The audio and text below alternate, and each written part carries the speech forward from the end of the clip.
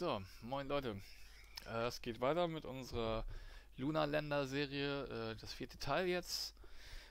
Ähm, wir ähm, haben uns letztes Mal angeguckt, was dieser Lunaman Länder irgendwie, ob wir da irgendwie was machen können. Und nachdem ich irgendwie danach noch mal ein bisschen durchgeguckt habe, äh, stelle ich fest, das ganze Ding ist aufgebaut als ähm, wir, ich kann da keine Schleife draus machen oder sowas, äh, weil das äh, im Konzept her ein ähm, wie nennt sich das nochmal, eine State-Maschine ist. Das heißt, es hat verschiedene Zustände und springt von Zustand zu Zustand. Und äh, während wir ähm, zwar irgendwie eine Hauptschleife haben mit Repeat äh, Until, also praktisch eine Endlosschleife, ähm, können wir irgendwie viele andere Sachen, diese Labels, äh, nicht so machen. Zum Beispiel dieses mit der Main Loop ist kein Main Loop, sondern das ist äh, genau genommen ist das der äh, Outcome, wenn man so will. Das ist die Ausgabe, ähm, was passiert und danach springt er dann in verschiedene äh, andere Zustände, also Try Again, um das zu sagen. Das heißt, dieses alles, was Main Loop heißt, hier müssen wir eigentlich äh, ähm, umbauen. Das machen wir jetzt mal hier so. Äh, wir sagen irgendwie, dass äh, wir setzen den gesamten Kram, Search Replace, äh, Main Loop, in äh, Outcome nenne ich das einfach mal und machen wir ein globales Suchen ersetzen. Und äh, das war das. Also ich arbeite hier mit äh, Vim, das ist ein äh, Editor auf Linux und äh, das ist der Outcome State. So und das ist äh, ähm, und wir machen das jetzt gleich mal so, dass wir das ein bisschen kommentieren, damit das irgendwie halt irgendwie vernünftig dasteht. So. Ähm, state um, outcome. Uh, printing uh, printing uh, the outcome of the simulation. Ähm, das ist ja eine Simulation.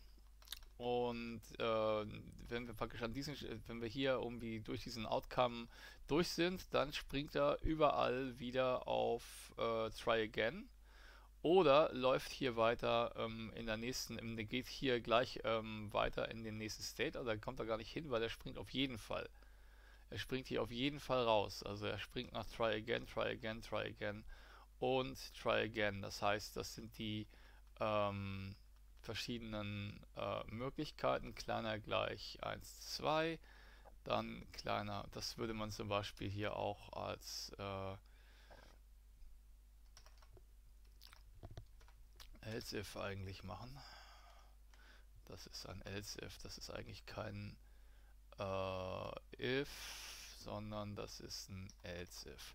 Das heißt, es ist irgendwie im Prinzip so eine äh, ähm, so ein Sprung über verschiedene ähm, Zustände. Das heißt, es ist kleiner als 1, 2, dann ist es ein Perfect Landing.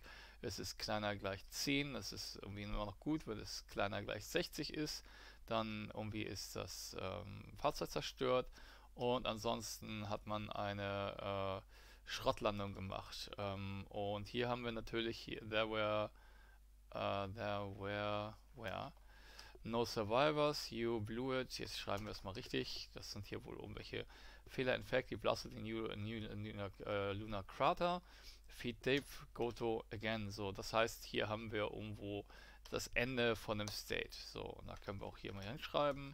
End State Outcome. So, dieses Ding, ähm, das springt da irgendwie praktisch rein. Das kann ich, äh, so, dann haben wir hier einen anderen State. Und was dieser State macht, das ist mir jetzt irgendwie nicht ganz klar. Das gucken wir uns mal kurz an. Ähm, erstmal gucken wir uns an, woher er angesprungen wird. Äh, das ist der Level 3 Label 340. So, der ist hier und der ist hier. Das heißt, er springt hier zurück. Und äh, das ist, er kommt von hier, von Continue, springt er dorthin. Okay, so, das ist wohl irgendwie ein Simulation Step oder sowas, wenn s kleiner äh, 5e-3, das heißt, es sind äh, 5000 äh, Go to Outcome. Und ansonsten ist das hier ein Simulationsstep. Das ist, äh, äh, das ist wohl ein Simulation Step, der so lange läuft, bis Ähm, hier, das ist dieses Repeat Until ist eigentlich kein Repeat Until, sondern das ist eine While Do-Schleife, weil die äh, Bedingung wird am Anfang ähm, abgefragt und äh, das machen wir, stellen wir jetzt irgendwie einfach mal um. Also das ist eine While Do-Schleife, die ähm, While also er springt raus, wenn das Ding kleiner ist. Das heißt, wir machen hier draußen größer gleich. Ähm, du. Und äh, wenn das Ding durch ist, dann geht er unten go to outcome zum nächsten äh, zum nächsten Stage und hier unten kommt natürlich ein End hin. So, das ist die eigentliche äh, strukturierte ähm, Sache, die wir hier haben. Und wie heißt das Ding? Das ist Simulation Step, würde ich sagen. Ähm, und was ist diese äh, 370? Das ist auch ein Simulation Step, aber das ist ein Simulation Main, würde ich sagen. Ich nenne das jetzt einfach mal um. Ähm, und zwar äh, Punkt äh, gehe auf alles, suche und ersetze L340 gegen äh, Simulation Main. So, und das global. Und damit habe ich jetzt irgendwie praktisch den ganzen Kram, also ich wieder ein weiteres Label habe ich ersetzt. Und da das, ein, da das eine State-Maschine ist, die von State zu State geht, ähm, brauche ich hier diesen Goto auch nicht entfernen, weil das tatsächlich ein, das ist äh, korrekter Aufbau. Das heißt, irgendwie für diese, für diese Zwecke ist Goto da, um State Machines zu bauen und zwar nur dafür, irgendwie kann man es vernünftig benutzen. Die meisten anderen Fälle irgendwie kann man anders lösen. Also State Machine könnte man jetzt in äh, Lua auch in äh, einer ähm, äh, mit einer sogenannten, äh, wie heißen Dinger nochmal, ähm,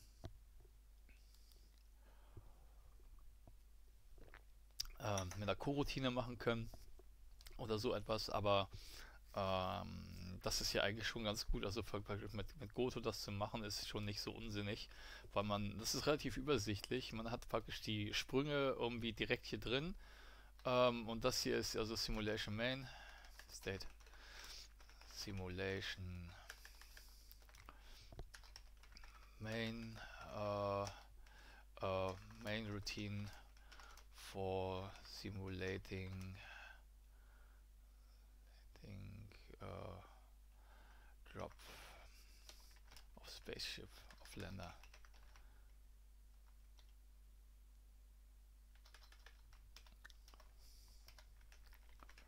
Auf Länder. So, und hier unten ist der State zu Ende.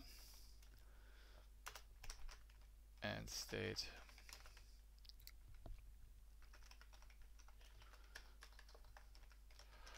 So, äh, wie man sieht, springt da irgendwie praktisch aus diesem Zustand zu dem nächsten Zustand. Das wäre jetzt der Out Outcome nach dieser Geschichte. Und jetzt können wir sagen, was macht er hier bei 370? Ähm, das ist auch wieder ein State, glaube ich. Äh, sieht nicht aus wie irgendwas anderes. Da müssen wir mal gucken, was das ist. Äh, erstmal müssen wir suchen, äh, wo er herkommt. Wir suchen nach L370 und gucken uns mal an. Ähm, aus dieser Continue-Schleife, Continue-Schleife ist nicht Continue, das ist irgendwas anderes, das ist auch ein State. Da müssen wir gleich nochmal ran. Also der macht, das ist der einzige Zustand, der springt von hier oben da unten rein und dann geht er wieder in Continue. Also das ist hier eigentlich ein Simulation Main.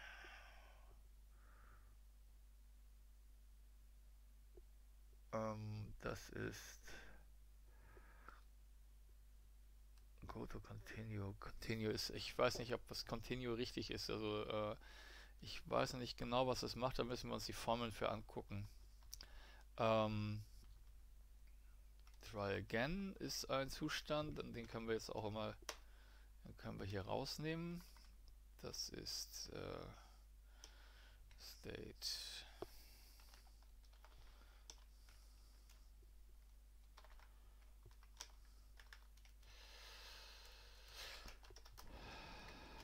stage. Try again. Ask uh, to repeat uh, the process. Okay. So, das ist ein relativ einfacher State, der irgendwie nicht so das Try Again springt äh, und dann springt er zurück eigentlich mit Until False äh, in unsere Hauptschleife. So, das können wir so lassen, diese Repeat Until, das ist sozusagen irgendwie okay. Ähm, wir haben Prinval, das ist ein State, der irgendwie direkt rüber geht in Continue. Continue ist ähm,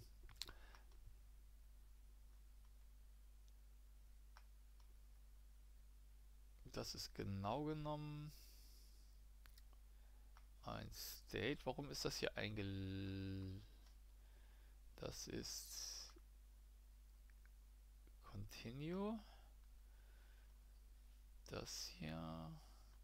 Dann muss dieses ganze Ding hier, dieses ganze Ding, um das irgendwie praktisch um was zu sehen, das ist keine Unterroutine von dem anderen, sondern das steht für sich selbst und ist definitiv nicht eingerückt. Das heißt, da müssen wir irgendwie die Einrückung zurücknehmen. Das habe ich gerade gemacht. Ich habe praktisch auf dasselbe Niveau gesetzt wie die anderen, ähm, die anderen States, äh, weil das einfach nur ein weiterer State ist. Er springt praktisch von hier aus implizit äh, in State Outcome. Äh, next State Next State outcome and state äh, wie hatten wir diesen State genannt? Continue, das ist aber irgendwie, eigentlich ist das nicht Continue, sondern das, dieser State heißt anders. Äh, dieser State heißt, ähm, das ist auch wieder so ein Berechner, der hier ähm, checkt ab, ob ähm, unsere, ob Sprit äh, check uh, uh, state uh, check fuel. So, und das, äh, dieses Continue ändern wir nämlich jetzt mal irgendwie und verändern das und sagen, das Ding soll heißen Continue äh, soll heißen Check Fuel. Das ist nämlich genau das, was hier passiert, wenn ihr euch das mal genau anguckt. Ähm, er guckt, ob äh, noch irgendwie Treibstoff da ist und äh, springt dann entsprechend raus. So, deswegen also ändern wir jetzt Continue auf Check Fuel und damit haben wir den die verschiedenen Sachen da. Äh, das hier ist natürlich ähm, auch wieder ein Ende eines States. Der State ist hier und sollte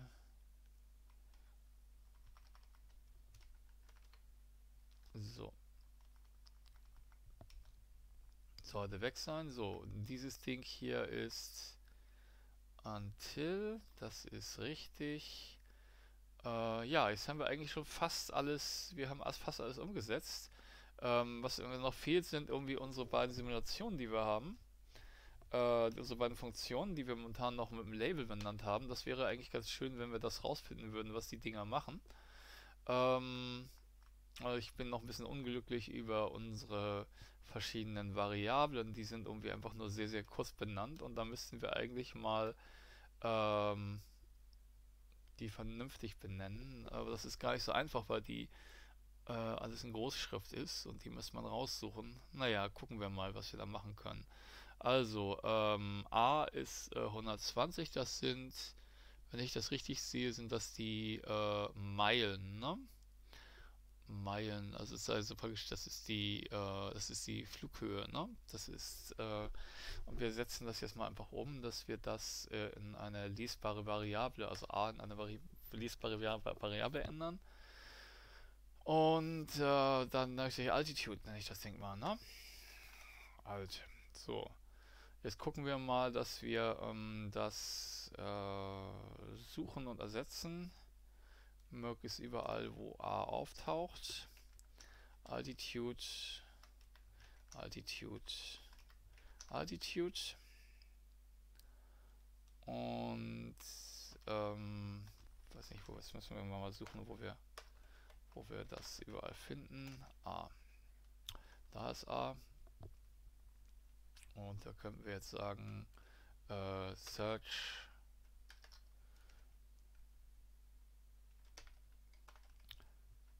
Search A und Replace nach Alt. Und da müssen wir jetzt mal gucken, ob das funktioniert. Ähm, Muster nicht gefunden. Also wir haben auf jeden Fall alle A's jetzt irgendwie angemerkt. Und das heißt, wir können sie schön finden. Das müssen wir jetzt wohl doch irgendwie sehr äh, ähm, von händisch machen, weil wir hier so viele Schrift drin haben, die wir hier nicht ersetzen dürfen. Ähm, dass wir jetzt hier irgendwie ganz locker mal durchgehen. Und da müssen wir dann wohl mal händisch da reingehen. Damit kriegen wir die verdammten unlesbaren Variablen aus dieser, die immer noch aus dieser Zeit sind, bekommen wir dann ein bisschen unter Kontrolle und können dann daher sehen, was die unsere Formeln hier eigentlich machen. Weil momentan kann man das kaum sehen, weil das, äh, also wenn ihr ähm, solche, deswegen machen wir den ganzen Kram, dass wir uns jetzt angucken, wie sieht eigentlich so ein altes Programm aus. Äh, was ist schlecht an diesem Programm? Wir können nicht sehen, was dieses Programm macht. Da ist keinerlei Dokumentation drin, da ist keinerlei Struktur drin gewesen. Das war ein reiner, äh, ein reiner Bandwurmcode. Ähm, wir haben jetzt Ko äh, Struktur reingebracht. Wir haben festgestellt, das ist eine State Machine, die aus verschiedenen, also Goto ist unvermeidbar in dieser State Machine. State Machines werden immer ganz gern genommen in Spielen oder in Simulationen, weil es gibt praktisch einen bestimmten Zustand, in dem das ist, wie sagen wir mal, irgendwie äh, äh, die, die die, das Ding fällt zum Beispiel, also dieser Länder fällt äh, dann kommt die äh, Eingabe, äh, dann wird praktisch die Veränderung der Variablen vorgenommen, dann geht er wieder in den Zustand äh, fallen, dann checkt er ab, irgendwie, ob zum Beispiel sowas ist wie der Sprit aus ist, dann geht er in Sprit aus, dann geht er irgendwie, dann checkt er ab, ob der Zustand irgendwie er crasht auf den Bo ähm, Boden ähm, stattfindet oder sonst irgendetwas. Und so springt er von Zustand zu äh, Zustand zu Zustand. Und ähm, so sind ähm, zum Beispiel auch viele Assembler-Programme äh, geschrieben, oder eigentlich irgendwie fast alle, die springen eigentlich in verschiedene Zustände. Da gibt es irgendwie im Prinzip sowas wie eine Funktion oder sowas gibt es nicht. So, das waren jetzt, glaube ich, alle äh, Alt-Variablen, ähm, alle A-Variablen. Und ähm, deswegen gehen wir mal in die nächste Variable, das ist V. V ist in diesem Fall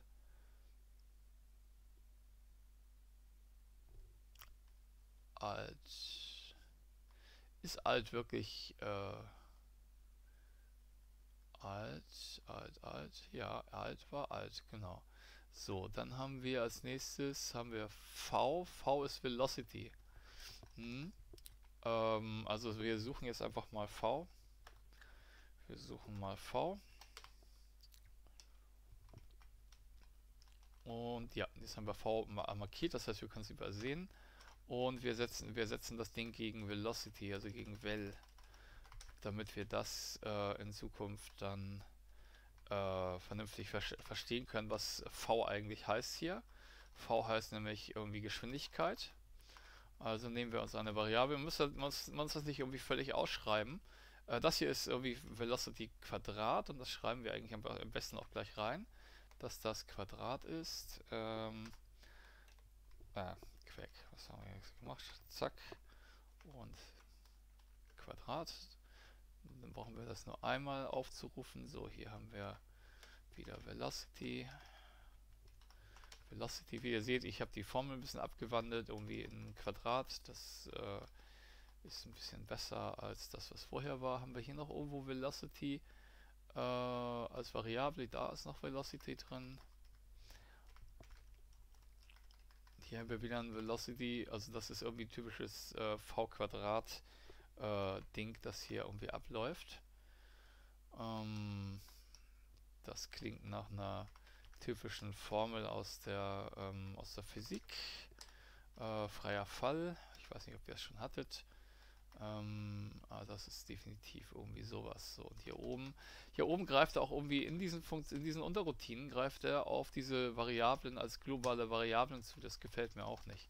Äh, das heißt, wir haben einen Satz von Variablen, auf denen wir überall zugreifen. Und man könnte das lokal machen und das hier ein bisschen ähm, äh, einschränken. Dann könnte man aber auch sagen, was machen diese Funktionen hier eigentlich? Ähm, weiß ich momentan noch nicht. So, ich glaube, das waren alle Vs. Äh, dann wollen wir mal gucken, dass wir äh, die nächste Variable nehmen. Das haben wir. Velocity hatten wir, m. M ist in diesem Fall ähm, 1300. Das sieht irgendwie aus wie Maß. Das ist die Gesamtmasse. Wir suchen mal wieder, wir suchen mal wieder aus, dass wir M markieren, damit wir es nicht irgendwie übersehen. Das heißt, wir nennen das Ding hier M für Maß. Und ähm, so, mal gucken, wo wir es überall finden. Maß Also wie ihr seht, hier kann man den, äh, hier kann man den, den Kram ähm, jetzt besser lesen, weil irgendwie praktisch mit sowas. Aber die Sache ist die, warum haben die das mit nur mit einfachen Buchstaben gemacht? Basic konnte nur einfache Buchstaben als Variablen haben. Äh, ich glaube zwei Buchstaben war das Maximum, als das MN oder sowas. Und das war's. Äh, deswegen sind die so spärlich mit dem Variablennamen. Das haben wir heute nicht mehr nötig. Heute können wir irgendwie Variablen nehmen, die irgendwie praktisch ein bisschen besser sind. Man kann es auch übertreiben und tierisch lange Dinge schreiben. Aber wenn man das macht, dann ähm, hat man das Problem, dass die ähm, so, hier haben wir, dann haben wir das Problem, dass das äh, zu viel Code wird und es wird immer länger und länger und länger und man überlebt, äh, man äh, verliert die Übersicht über den, weil, weil es zu, zu viel Code ist. Das heißt, man muss sich ein bisschen äh, ähm, entscheiden zwischen ähm, äh, zwischen, zwischen der Menge an Characters und äh, also kurze Characters, also kurze Variablennamen sind übersichtlich. Man hält die Formeln kompakt, sodass man sie, wenn man mit einem Auge drauf guckt, in einem Stück die Formel übersehen kann, was dort eigentlich stattfindet. Also das hat eben den Vorteil mit diesen äh, Formeln, dass man äh, mit einem Blick sehen kann, theoretisch, was dort passiert. Aber das Problem ist eben, äh, man übersieht zwar das mit einem Blick, aber ähm, man muss wissen, was diese Sachen bedeuten. Und deswegen ist das eigentlich ein gängiger Kompromiss, den man irgendwie angeht, dass man äh, Variablen ein bisschen länger macht und dem ein bisschen Sinn gibt. Hier haben wir auch nochmal Maß. Also das sind solche kleinen Tricks, die ich jetzt hier mache, dass ich die ähm, einfach äh, markiere äh, durch diese Suche und damit irgendwie fallen sie sofort ins Auge. Und das war jetzt Maß. So, ich speichere das nochmal ab.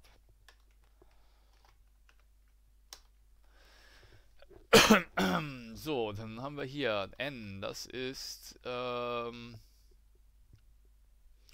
ähm, die sagen hier, das ist äh, Fuel. Um, das ist das ist die Gesamtmasse offensichtlich gewesen. Dieses MN wird wohl Fuel sein. Äh, ich bin mir nicht ganz sicher. Hier hinten, sprich, hier hinten druckt er aus äh, LB Fuel, das heißt, das ist äh, Leergewicht, würde ich sagen. Weil Maß minus Leergewicht ist Fuel. Ja. Maß minus Leergewicht, das heißt, das ist Empty Maß, würde ich sagen. Das ist E-Maß, also n ist E-Maß. Ich nenne das jetzt einfach mal E-Maß. So, wir markieren das wieder. E-Maß ist E-Maß, also Empty Maß. Ich glaube, das kann man irgendwie verstehen. Und damit haben wir, damit können wir praktisch die, äh, hier wird praktisch mit der Maß minus E-Maß, das ist praktisch Fuel-Maß, das wird damit ausgerechnet. Ne? So,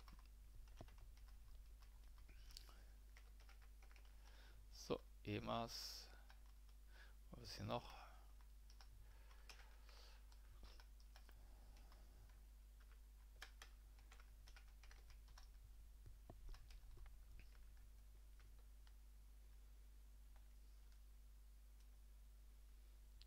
Hier kann man weiter springen. Ob der noch irgendwo ist.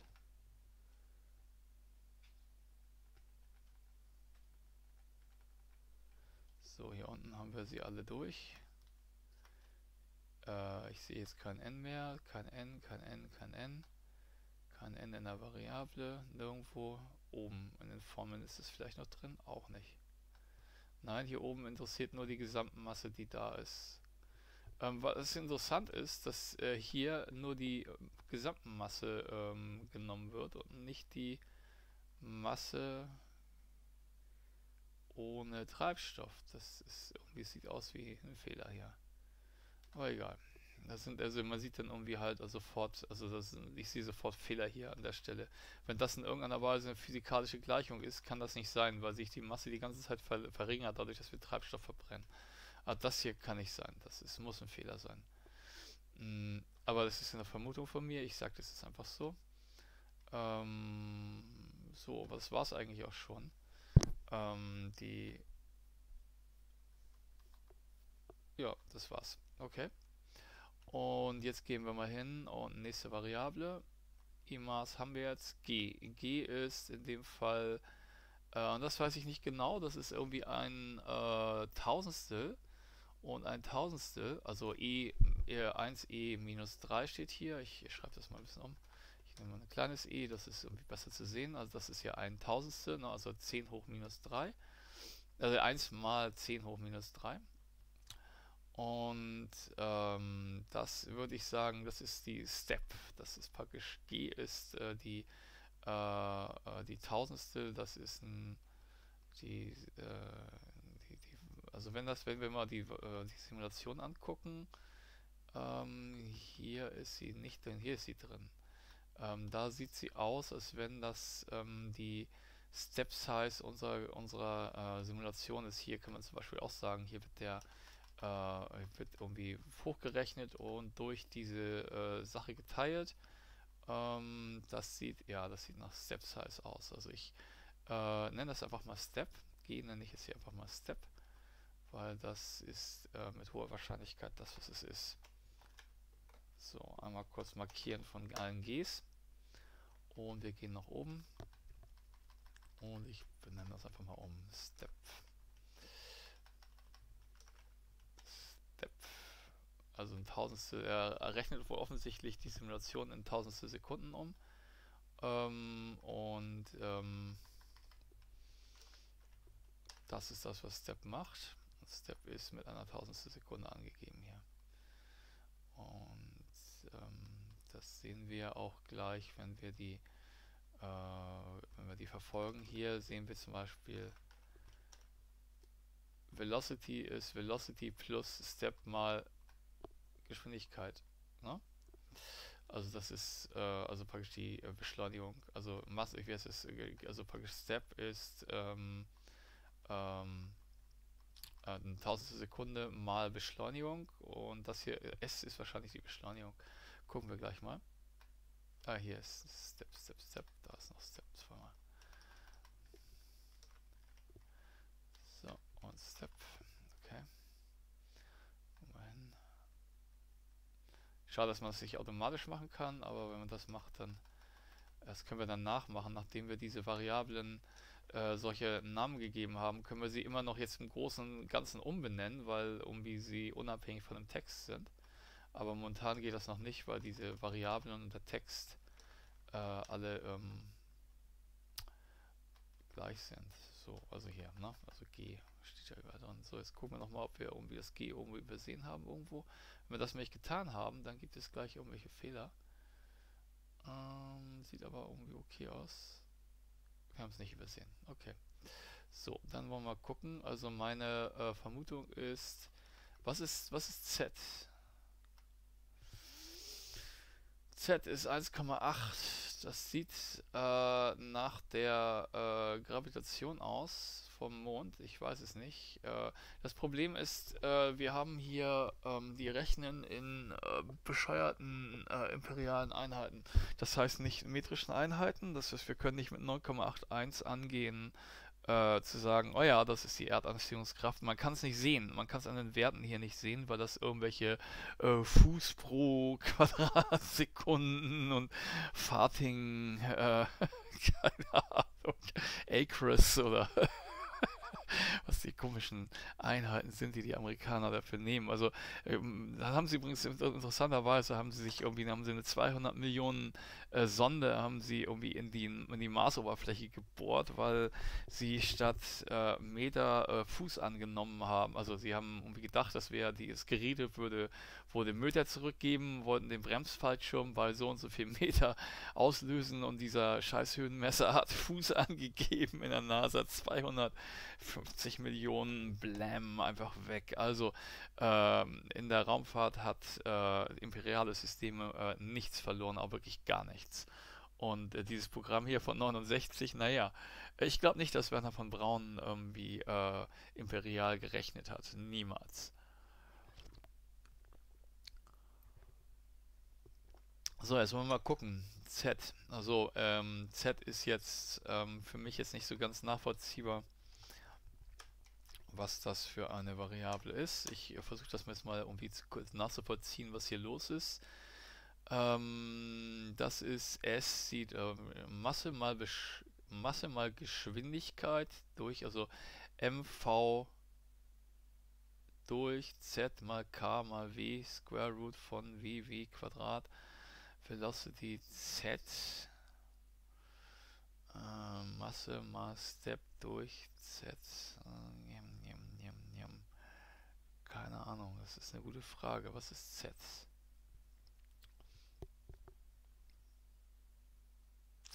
weiß momentan nicht. Ich lasse es momentan stehen. Äh, ich, meine Vermutung ist, dass es Gravitation ist, aber es ist nicht dokumentiert. Es ist null dokumentiert. Und, ähm, und diese Zahl, diese Variable sagt ja eben nichts. Es ist nur ein bescheuerter Buchstabe. Ich nehme an, dass es die Beschleunigung ist. Ähm, also die, dann die Anziehungskraft von, vom, vom Mond in, äh, in, in, Fuß pro, also das ist Kilogramm Meter, also Kilogramm, nein, äh, Pfund mal Fuß durch Sekunde. okay. Äh. Es muss eigentlich alles um metrisches umgerechnet, System umgerechnet werden. Das müssen wir dann irgendwie nochmal machen, um das vernünftig zu machen. Also ich würde sagen, das ist die, die Anziehungskraft. Das heißt, das ist äh, Graph. Ich nenne das einfach mal Graph. So. So, ich äh, kann mich damit irren, aber das kann ich ja irgendwie dann, irgendwie, falls ich mich irren sollte, kann ich das äh, noch ändern. Ich äh, nenne das jetzt einfach mal Graph und hoffe, dass das einigermaßen hinhaut. Wenn nicht, dann äh, na, da ist der nächste. Und wir probieren gleich mal, nachdem wir diese Änderung gemacht haben, ob das Ding auch läuft. Und so kommt man irgendwie halt Schritt für Schritt äh, an die äh, Funktion dieses äh, Programms ran und äh, weiß jetzt, wie dieses Ding funktioniert, wie das Spiel eigentlich funktioniert. Und das geben wir nämlich gleich nochmal durch. Also G, das haben wir irgendwie, also praktisch eine weitere Vari Variable. Wir haben L, das sind Seconds. Also L ist definitiv, äh, äh, das sind die laufenden Sekunden. Ähm, und das heißt, ich markiere mal alle Ls und sage, das sind 6. Sekunden, die bisher laufenden Sekunden sind das 6. Und hier haben wir 6, 6. Okay. Gehen wir mal durch. Äh, hier haben wir nichts. Da ist nichts, da ist nichts. Okay. Das ist nichts, das ist nichts. Hier sind 6. Ja, da sehen wir auch irgendwie 6, 6. Damit sehen wir, das S ist Delta S, also Delta, Delta T ist das. Also das ist irgendwie praktisch die die Zeit, die dazu, die dazugegangen ist. Also S werde ich ja ein Delta T umbenennen, also dt. Also man könnte auch T, das Sex könnte man auch ein T benennen. Aber ich mache jetzt mal Sex, das ist glaube ich besser. Ähm, dum, dum, dum, dum. Hier ist äh, Moon at 6 6 Seconds. Hatten wir wenig schon irgendwie umbenannt? Naja, egal. Äh, lalalala, Hier haben wir nämlich noch überall W mit drin. Um, 6. Das ist L. War das schon alles?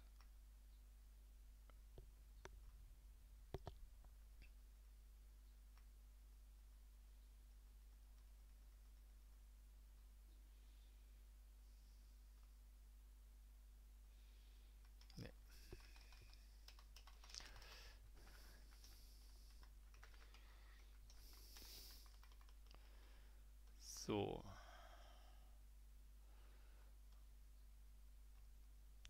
Okay. Wo kommt jetzt diese W her? Hatten wir das W hier schon drin? Ne, wo kommt das W her? Wir suchen mal kurz das W, wo das kommt, wo das herkommt. Das muss ja irgendwo deklariert worden sein. W ist 3000, äh, W ist 3600 mal V. Hatten wir V nicht schon benannt? Oh Gott. Wir haben V, v benannt. Ich habe es übersehen, äh, das zu benennen. Ich muss mal kurz eine ältere Version von dem Programm nehmen. Luna 2. Film Luna, Luna 2. Wo wir es noch nicht umbenannt haben. Und V... V ist das hier. Da ist V. Das ist also... Oh, mal gucken.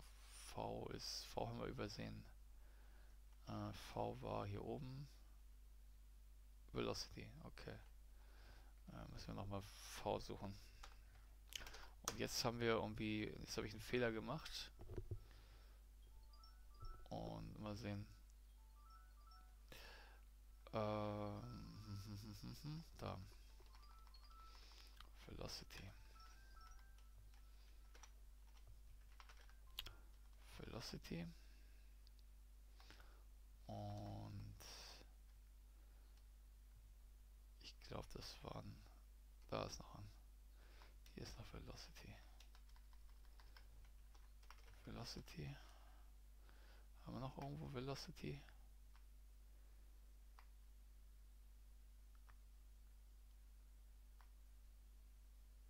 Ne.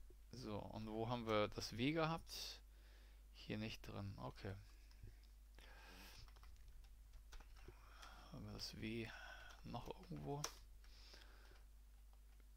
W, W, W, W, W, W. Da ist W. Und W haben wir noch nicht. Äh, W wird nur hier benutzt. Ne, wird hier auch benutzt. Ah.